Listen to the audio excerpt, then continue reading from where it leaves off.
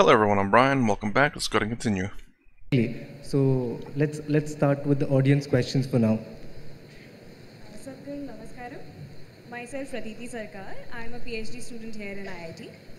Sadhguru, um, every time we have some uh, submission, me and my friends would plan in advance and uh, we would try to stick to it. But somehow, ultimately, it happens that we end up finishing it in the very last minute. So before I used to think like why I wasn't uh, starting it early or why I couldn't finish it early. But then I realized that almost everyone around me is doing the sa- uh, same thing and everyone is procrastinating. so my question is then, uh, what's the reason? Why do we knowingly procrastinate? See, uh, the longing that you had when you wanted to get into the institute, you have not maintained that longing. Please sit down, it's okay. You not maintained that same level of longing. How badly you wanted to get in. If you maintain the same level of longing, you would prepone everything Prepone. that you're doing. Brief. Slowly, you slacken up and other things interest you, education sinks down a little bit. If you're doing something that you really want to do, will you prepone or postpone? Will you prepone or postpone? You'll prepone. Is that a word? If love is in the air, will you prepone or postpone? Prepone, surely. Prepone. so in a way, intellectually, knowledge is a love affair. It's really a love affair. If you get involved, it'll become much bigger love affair than emotional love affairs. And I, I, I, I had to look it up. Prepone, I think, I think it says is a word. Is prepone grammatically correct? I've never heard that word before. wow. So if you conduct your education like a love affair, that you're really involved, then you will always prepone, not postpone. But if you finish too early, that means your faculty is not setting you tight enough time. They must set more stringent time because this is the time of your life where you have to learn how to stretch yourself physically, mentally, in every possible way. Otherwise, life will crack you when you go outside, unless you find a government job for yourself. Ouch. Otherwise, anything else you take up in your life, if you do not know how to physically and mentally stretch yourself without breaking, then life will break you somewhere. So, education time, the time of being youthful is not a leisure time. Unfortunately, you know, in, uh, this may sound like this, a little difficult for you, but you must come and visit and see how it happens. These children came and performed here just now, the Kalari, and we have a home school. All these are seven days of the week school. We have planned four to five days in a month as activity days which the children won't know. Someday, it will be instead of academics, it'll be some other kind of activity. But those activity days are more intense than the academic days. When you're growing up, when you're young, you should not be thinking about leisure. Unfortunately, this culture from United States has come, what is that, TG… TGIF. Thank God it's Friday. So if you're going to enjoy only weekends and weeks you're going to suffer, that means you're doing something that you have no love for. I'm asking, why the hell are you doing it? Why the hell are you doing something that you don't care for? Because it's your life. Your life is just a certain amount of time.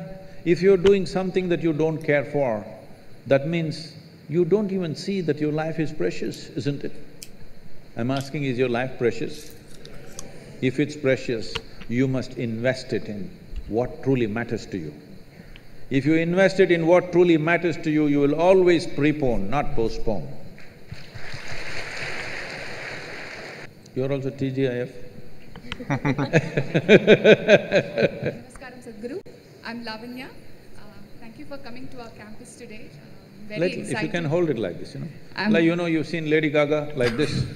Ah, Is that good? yeah. So I'm very excited to have you here with us. Uh, my question is, uh, when I was growing as a when I was growing as a child, Uh, both my parents were working, and there were times I was feeling lonely and very miserable. Although my parents did give their part of comfort to me, the, the, it, were- there were times I was feeling lonely in the, in, on the inside. And um, uh, what can our future parents or what can we do to our kids not, to not feel the same way? Thank you. Well, uh, in India, this is the first generation where women have stepped out to work professionally. Otherwise, because we were largely an agricultural community, women worked, but in and around the house. And if they went somewhere to the field, they took their children and went. So always like you see ducks and chicken, if the hen goes behind that, the chicks run. Like that, children were always running behind women. So she, she was always doing her work and still managing and tending to them and there was a certain cohesiveness to that.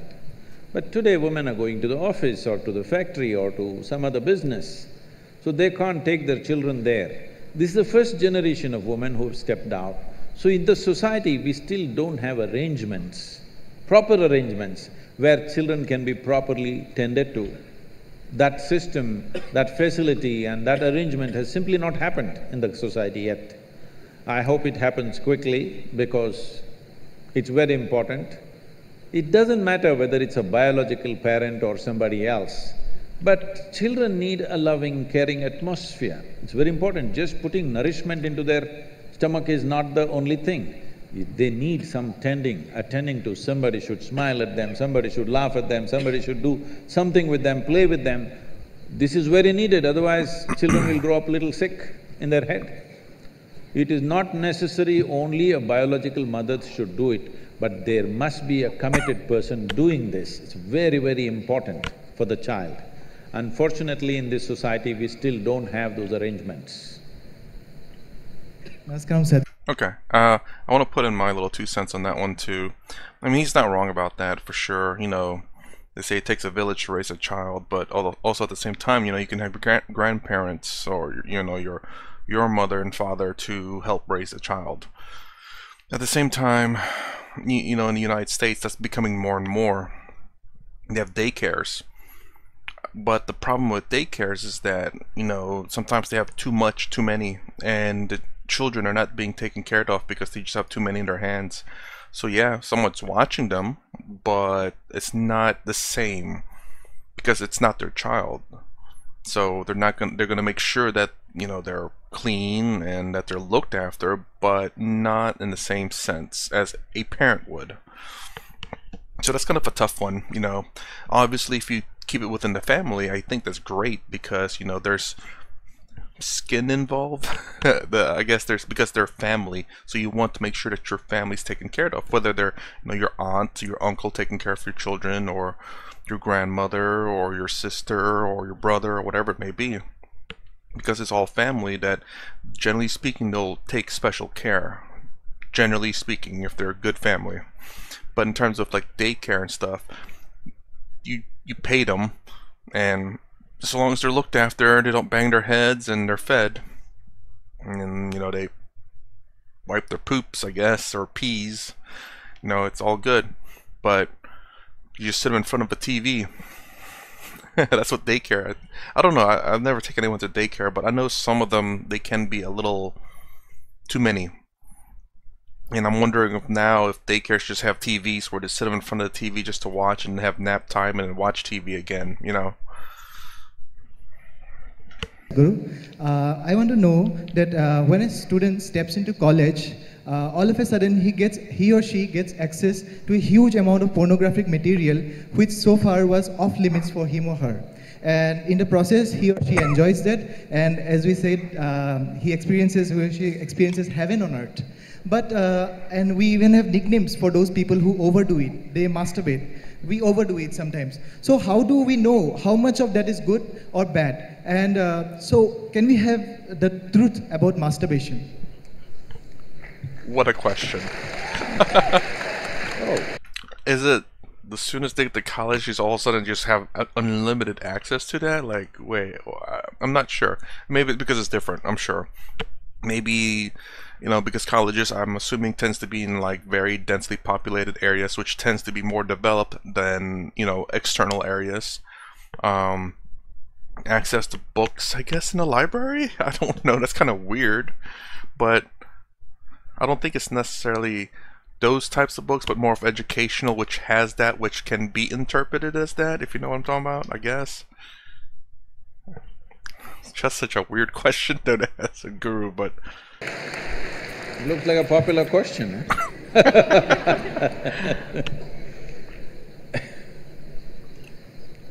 See, uh, we have a biology, we cannot put it under the carpet, it's there. It's best we address it for what it is. But right now the problem in the world is because certain religious institutions in the world took this attitude that the very biology of the human being is wrong, because of this, culture started hiding it under the carpet. Well, in this culture, we never had it, but after the British came and left, we became more prudish than the British. But before that, if you look at our temples, uh, all the outside temple art is all pornographic, if that's what you want to call it. But we don't call it pornographic, yeah. we are only talking about the various dimensions of human biology. Because we don't see it as wrong, but we see it as the periphery of life. Hmm. If you stay there only, you will stay on the physical dimension forever, you will not explore anything else. So in the temple, always it's the periphery. You are supposed to look at that and understand it's the periphery of life and try to make an attempt to go deeper, but at the same time not to be in denial of it. Not to glorify it or not to be in denial of it is the most important thing. But in your college, watching these things on the whatever, your internet or whatever, people tell me that uh, somebody told me, I, I don't know if these percentages are correct. AD? When I was asking, what is the content? I was trying to understand the internet and its content. What is the real content on the internet? They're telling me, you should know. They're uh-huh. telling me seventy oh. percent of the content on the internet is pornography. Is it so? I mean, I don't think Is so. it so? You must be the expert. I, I, I wouldn't think so. I mean, it could be, but I'm assume uh, my assumption would be like seventy percent being searched is that, as opposed to seventy percent of the content is that. You know, but I don't know. It could be both. It might be both. Seventy percent is that and search for that.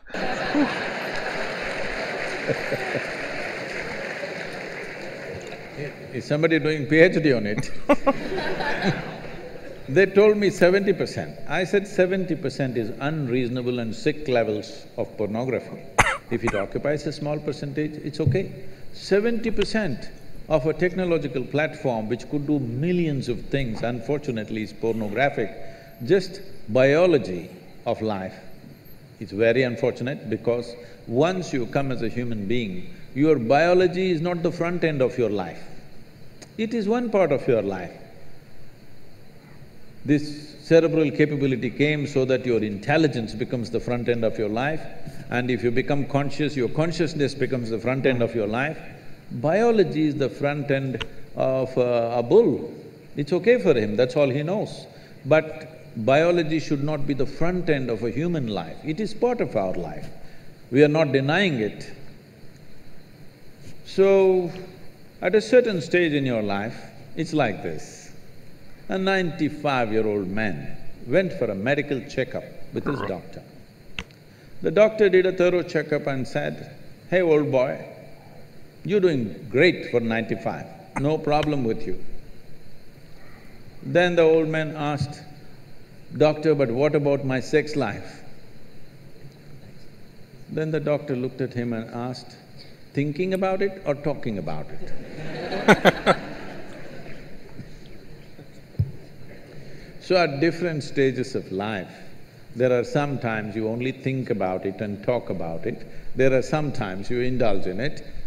Uh, these are passing phases of life. How much of it is needed for you, you are the best judge. But at the same time, you came here not to explore your biology. At least you should have gone to uh, MSc in biology. You shouldn't be wasting your time in a technological institute exploring biology. Does it mean to say you don't have biology, you don't have biological needs? You have, it's fine, but it must be on the periphery. It should not become the core of your life because it will reduce you in the sense a creature which was purely biological evolved into a place which has an intelligence of its own beyond its biology. See, animal intelligence works for its biology alone. How to get its food, how to get its mate, this is all its entire life is.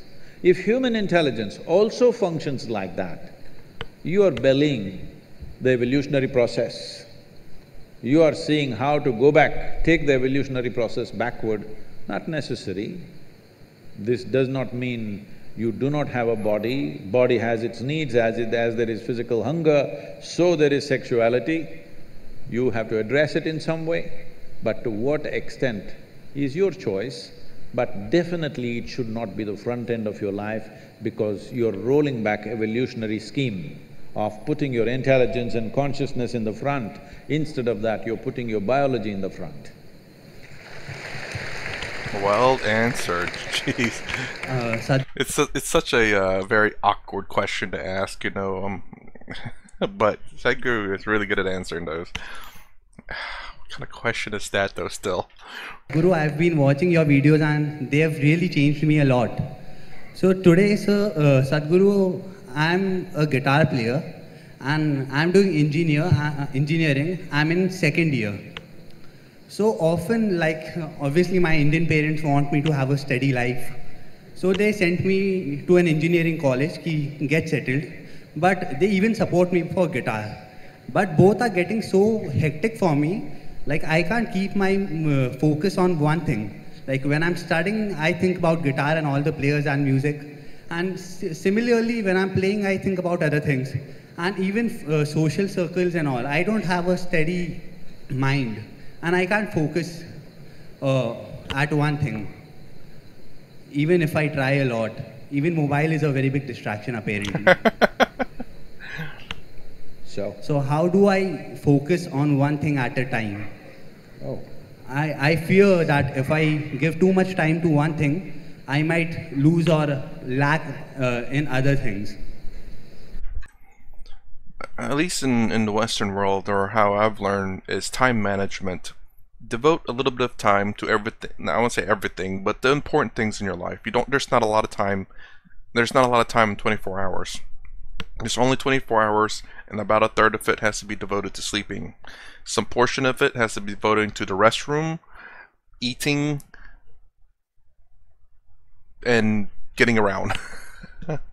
and then work or something to, you know, pay your bills. So, time management, I would say, at least in terms of the Western world, to answer that. But I'm kind of curious what Sadhguru would say because um, I would say meditation should help you focus. And again, again, time management taking like an hour as soon as you or waking up an hour early, going to sleep an hour early, and waking up an hour early to meditate to help try to focus the mind. Probably. see, uh, human mind. Do I have a few minutes to answer this question? See, the nature of human intelligence is such that it can do many things at the same time as a process. Mm-hmm. When I say intelligence, most people are misunderstanding intelligence as intellect. Intellect is your thought process. Thought is just one dimension of your intelligence. Thought is only happening because of the data that you have gathered in your mind. You cannot think about anything for which you have no data, isn't it so? Isn't it so? Isn't it so? You're getting sleepy? Because usually we put children to sleep at eight. So, uh, human intelligence is made like this. We… in… in the yogic way of looking at life, we look at Human intelligence as sixteen parts. Out of these sixteen parts, we can, for the sake of understanding, we can see it as four segments. These four segments are buddhi, ahankara, manas and chitta. Buddhi means the intellect. Intellect, when it comes to your intellect, would you like your, a sharp intellect or a dull intellect? You must choose, I'm going to bless you right now. Sharp intellect. So obviously, intellect is a cutting instrument. It's like a knife, it's a scalpel. It's good for cutting. If you want to dissect something, you need a good, sharp intellect. But suppose you want to sew something, all you have is a knife. If you sew with a knife, you know what'll happen? Poor lady. you will leave everything in tatters. But right now, this is the way we are going about because our education systems are focused just purely intellectual basis. This is a cutting instrument. If I want to really know you, shall I dissect you? Hello? I want to know you, so shall I dissect you? Well, some of you in your uh, maybe pre-university studies, you dissected a frog and you were very excited how the heart was beating. The frog was not excited, believe me. it was looking at you, what's wrong with you? yes or no? So, intellect is a certain instrument. It is a cutting instrument. It can be used for certain aspects of life. But unfortunately, we are using it all pervasive because other dimensions of intelligence have not even been touched. The next dimension of intelligence is called identity. The next dimension of the mind is called identity or the ahankara. Identity means, depending upon what you're identified with, that's how your intellect will function. This is a knife in the front, this will always try to protect what you're identified with. You say, I'm a woman, it'll try to protect your gender. You say, I'm an Indian, it'll try to protect your nationality. You say you're some religion, it'll try to protect that. Whatever is your identity, your intellect is always working to protect that identity. So how we establish this identity consciously is a very important part of education which we have completely ignored today, for which we are paying a huge price. In the traditional education, from zero to twelve is balavastha, that means just to play, eat, sleep. So that the body and the brain should grow till they're twelve years of age, you should not try to teach anything, extract anything. From twelve to twenty-four is focused learning. This is called as brahmacharya, discipline of how to learn. Learn is not just learning other disciplines, but above all, learning about the nature of my own human mechanism, my intelligence, my different faculties, how they function, because if I don't understand this, I cannot really apply myself into anything. So, we always establish this, you might have heard of this, there is something called as Aham Brahmasmi at the age of twelve. This is taught to a child before we initiate a child into education.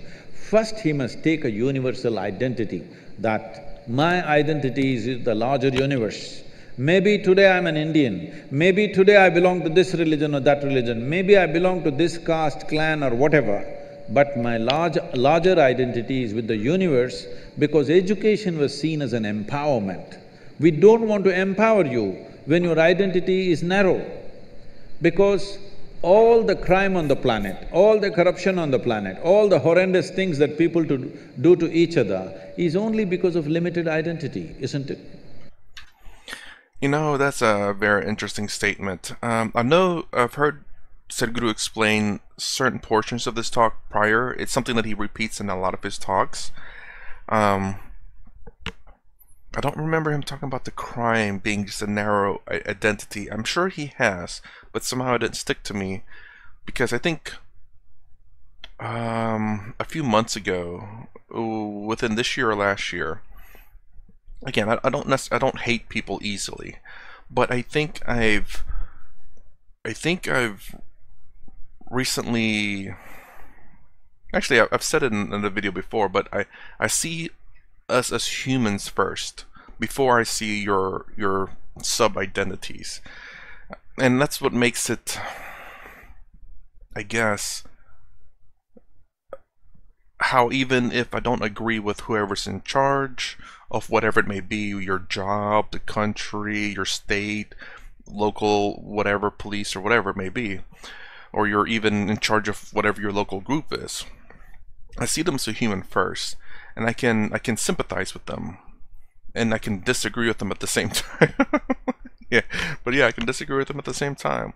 So, and I want to make this video, but about Sadhguru and Acharya Prashant, about people talking about one's fake or the other's fake or whatever, but I I want to make that video because I just want to want to get things straight. Um, it, I mean, it doesn't come up too often, but you know, if you if you love Acharya Prashant, there's nothing wrong with that. If you love Sadhguru, there's nothing wrong with that.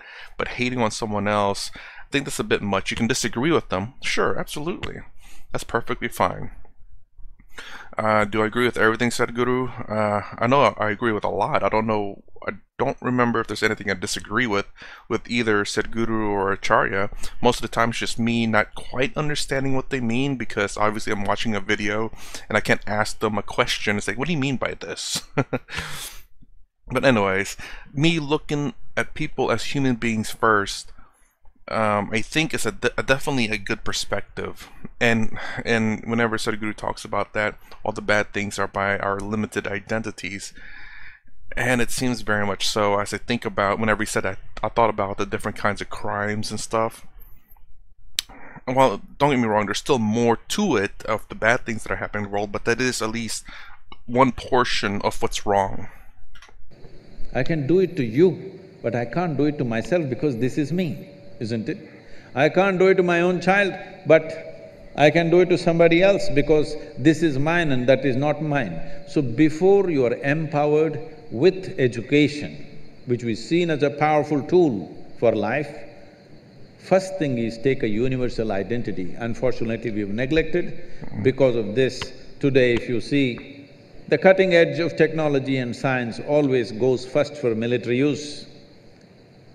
Yes or no? I'd say no, but don't get me wrong, a lot of things were discovered because of the military.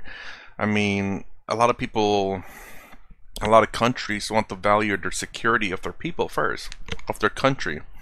And, um, and uh, sadly enough, that's where funding gets. And the good thing about it is that it kind of spills over into the civilian life a lot of things that were developed for the military now are developed are developed for the people. The World Wide Web was developed for the military. And guess what? Now it's most I won't say mostly, but it's for us now, for everyone.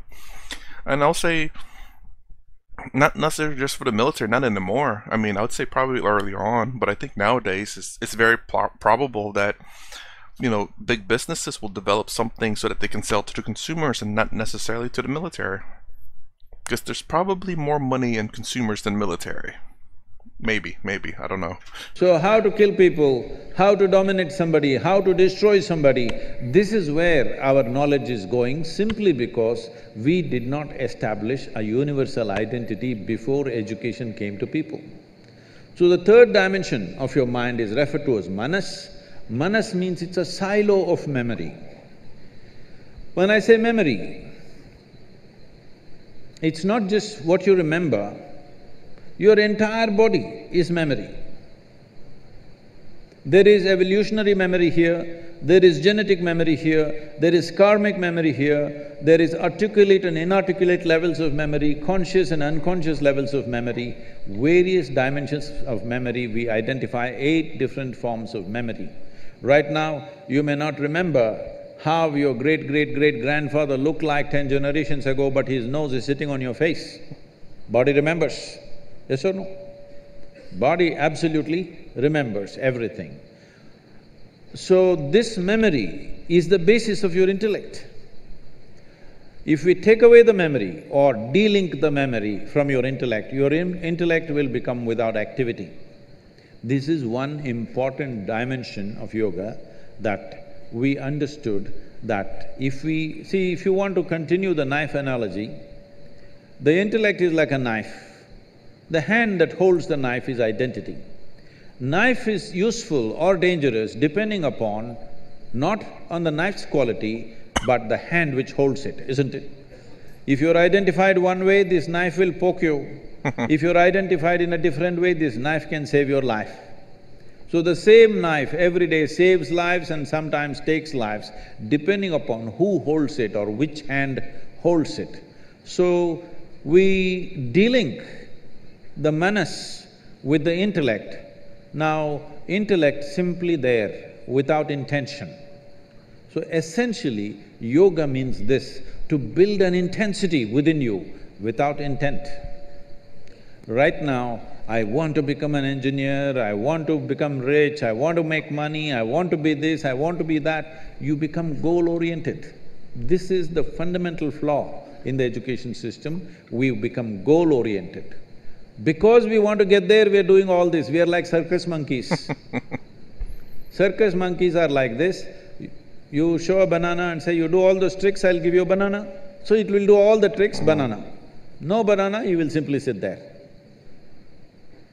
So, once you become human, you should not behave like a circus monkey.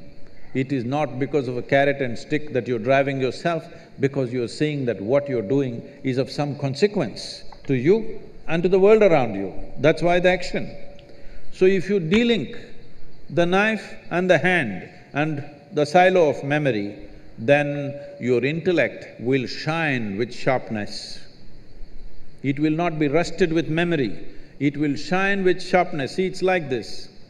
There are uh, some people who are uh, when you go to restaurants, you will see, and maybe in some homes also, you ask them to cut a mango, uh, they will use the same knife with which they've cut onion and they cut the mango and give you. You can't keep it in your mouth, the sweetness of the mango is gone if the residual impact of whatever the, the knife has touched is there in it, slowly it will lose its purpose, isn't it? The same goes for your intellect. If the memory sticks to your intellect, after some time, it'll become a useless intellect because it becomes a highly prejudiced intellect. So, the entire yogic system is about this, to dissolve your identity and simply sit here so that your intellect will shine like a razor without any intent, intensity without intent, if it comes into your intellect, you can do twenty-five things at the same time, just like that, okay?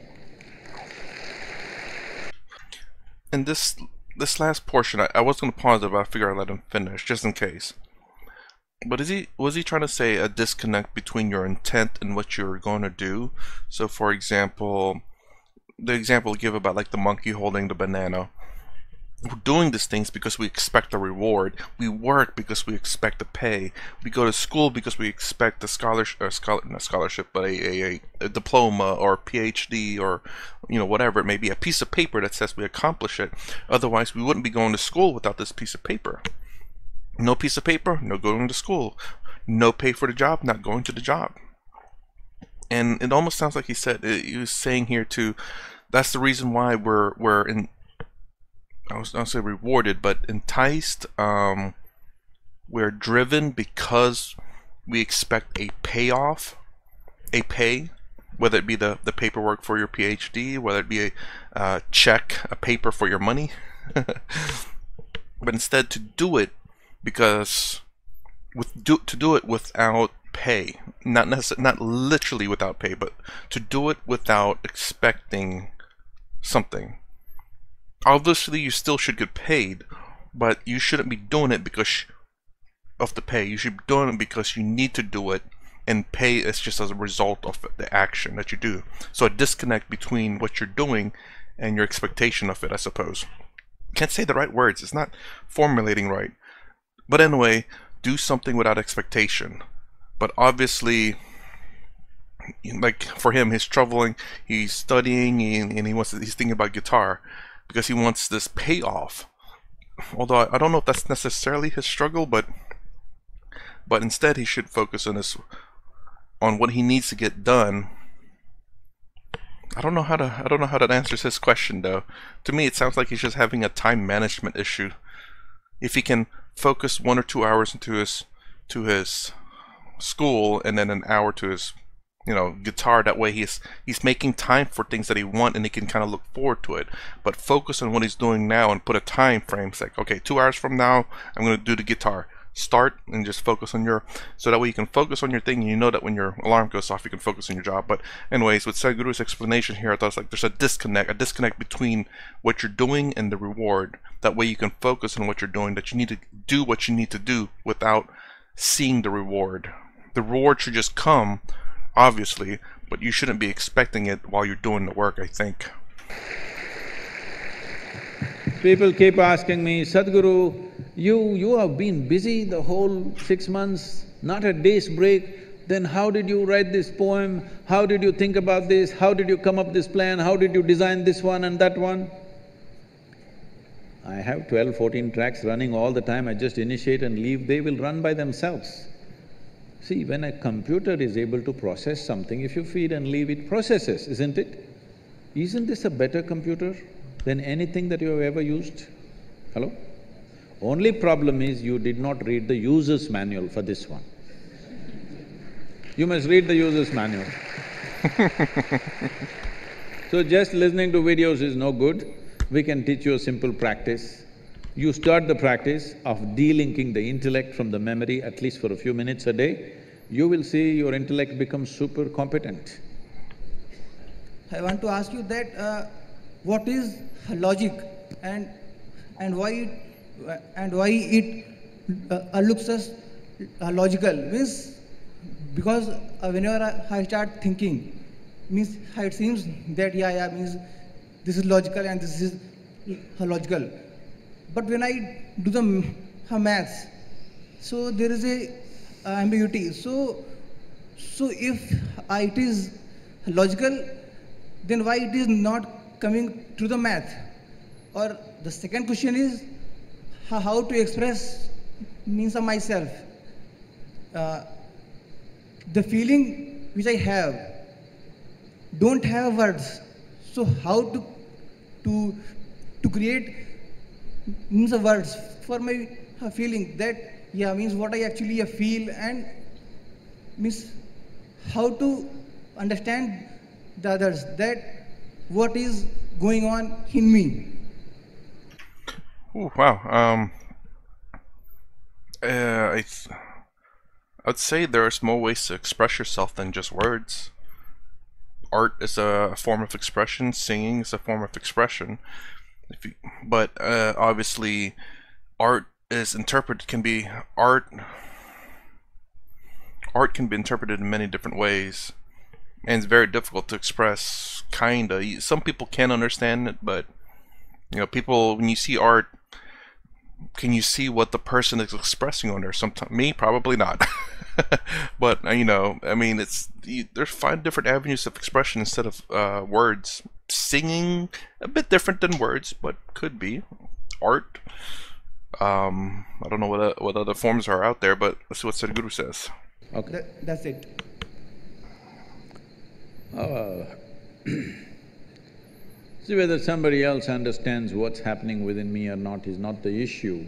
Whether I perceive what's happening within me or not is the main issue. Whether this person understands me or not is his problem. The question is, what's happening within me, is it clear to me? This is the important thing. If it's clear to me, whether I find words for it or not, doesn't matter about logical and illogical and the mathematic. Even the mathematics is only logical to a certain point. That is why they came up with uh, calculus, it's quite illogical. yes or no? so because they want to explore dimensions of existence which don't all fall into simple logic, that is why we came up with mathematics or the type of mathematics that we are doing right now, which is not really logically correct, but it articulates certain aspects of the existence. So, instead of worrying about what is logical, what is illogical, life is absolutely logical. Material is logical. So only handling material aspects of life, we have to be perfectly logical. When it comes to other dimensions of life, it's not logical. And in fact, all the most beautiful aspects of your life are not logical. If you… if you uh, try to logically find expression to every dimension of your life, you will feel silly. Suppose you fall in love with somebody and you write it in prose, you will look stupid. But you write in poetry, suddenly it's beautiful. Because poetry allows illogical expression, prose does not allow logical… Uh, illogical expression. So you cannot do illogic in arithmetic or geometry, but trigonometry is there, illogical So, in every sphere of life, people have understood that logic has its limits and they have found ways to explore life through means which are not necessarily hundred percent logical.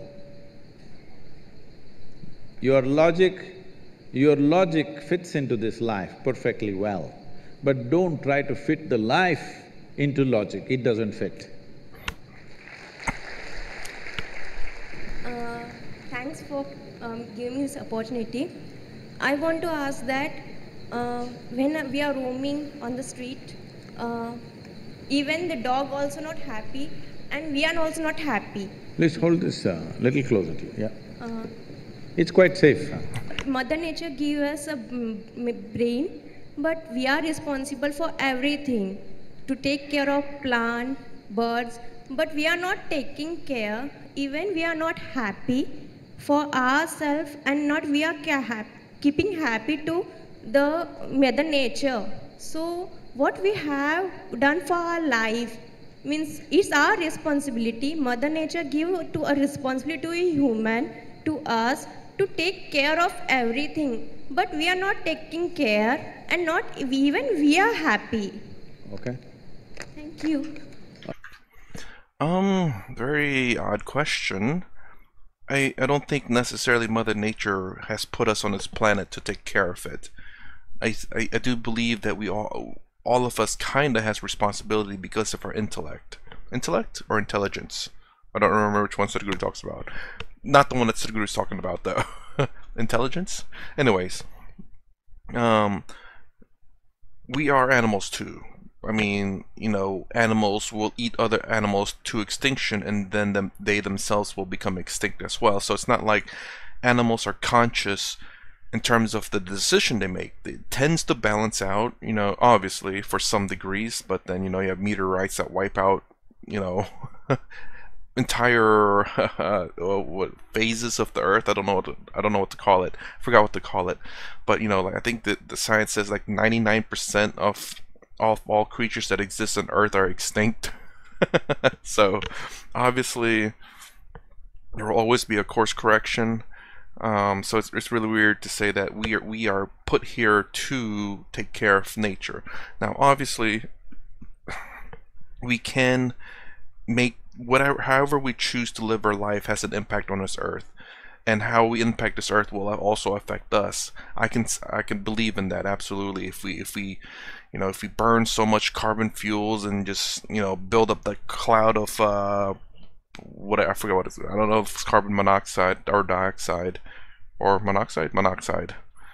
And make global warming because we're so responsible and we speed up global warming because of our responsibility of it then yeah we're gonna we're gonna suffer for it because of what we did. But generally speaking I think in terms of if we didn't have all this technology and stuff our only purpose in this life is to survive. If we go back to the animal um, mentality of just eat, sleep, drink, and reproduce. But because of our intellect, we are a bit beyond that. And to say that we have some responsibility, we have responsibility in terms of the actions that we take, absolutely. Uh, I don't know where you saw an unhappy dog. It must be a Mumbai dog.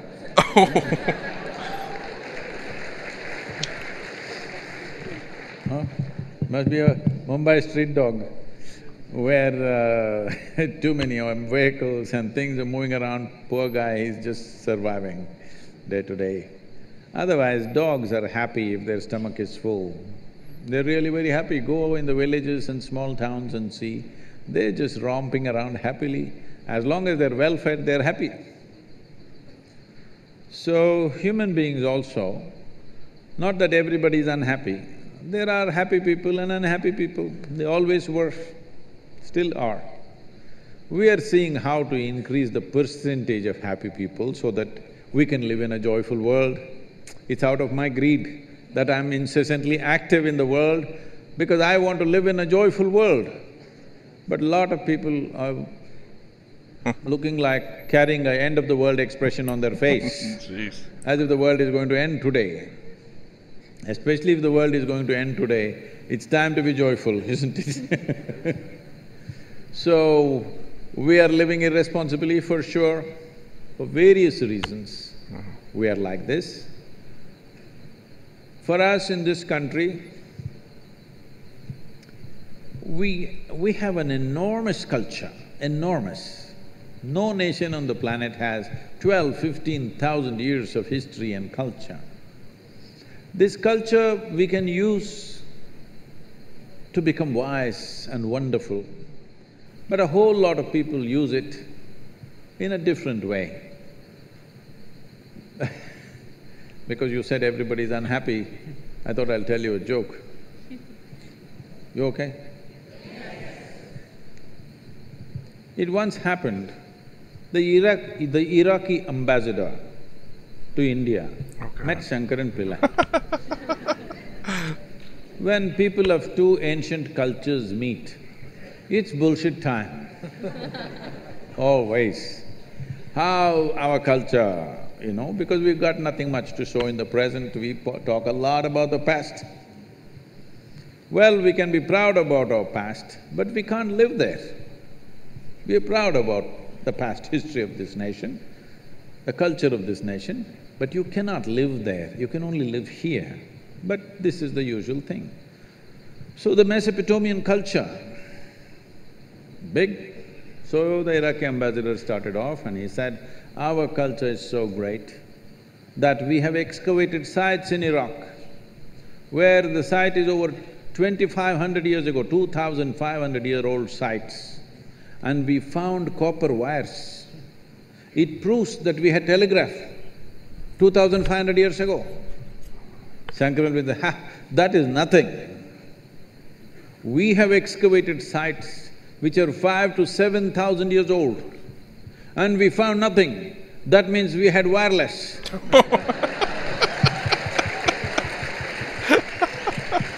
Wow.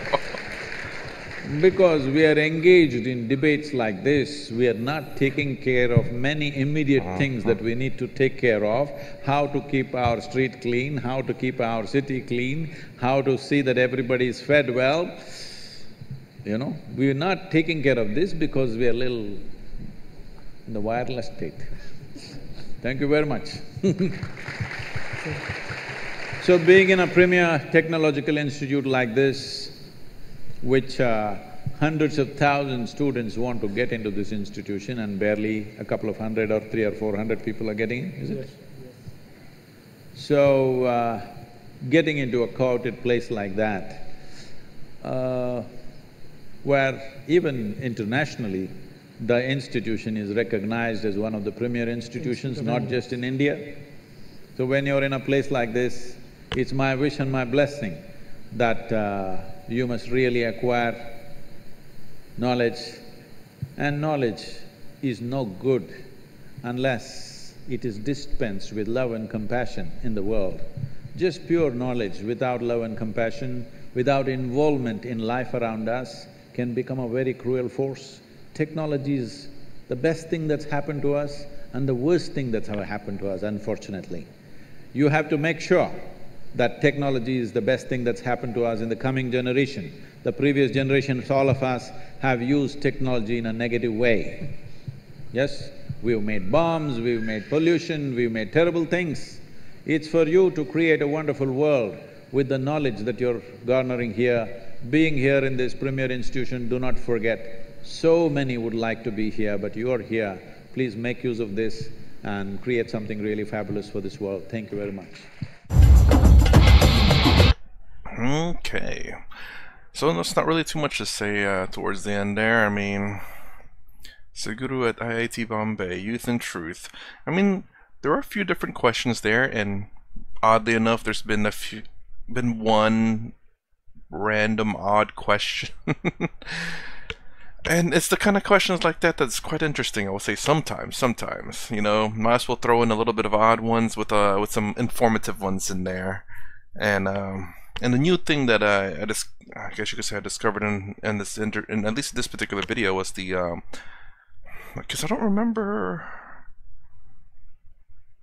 I don't remember him saying it in that particular way in the older videos about how many of the world many of the world's problems are these little tiny identities. I know he says many of the world problems. Well, maybe he did. And for some odd reason, it just stuck out to me this time. I think maybe because I, a few months up to a year ago, I just started started seeing more people as human beings, more so. And that quote he said finally really stuck to me. Hmm. Maybe that maybe that's the reason why. And that's the thing though, you know, as you as you as you grow up, you become wiser, you learn things. And going back and watching some of these videos, you you start to realize the words hit a little bit differently.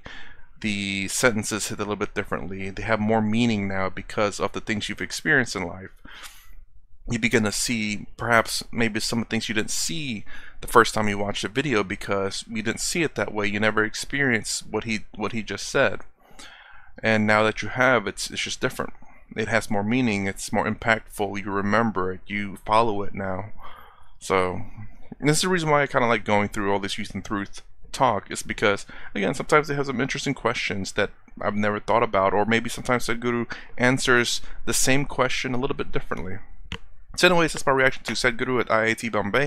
If you like my content, please consider subscribing, thumbs up, thumbs down down below. Thanks for watching. I'll see you in the next vid.